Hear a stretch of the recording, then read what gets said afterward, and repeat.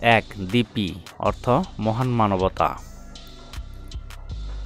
দুই সমার্থী, অর্থ শান্তিপ্রিয়। তিন সুমৌলি, অর্থ সুন্দর মুকুট। চার মঞ্জুষা, অর্থ ছোট বাক্স বা ঝাঁপি। পাঁচ রাজন্যা, অর্থ রানী। ছয় অবিধা অর্থ পরিচয়। সাত তমসা অর্থ নদী বিশেষ আট, ঋদ্ধি, অর্থ ভাগ্যবান। নয়, প্রতিজ্ঞা, অর্থ দৃঢ় সংকল্প।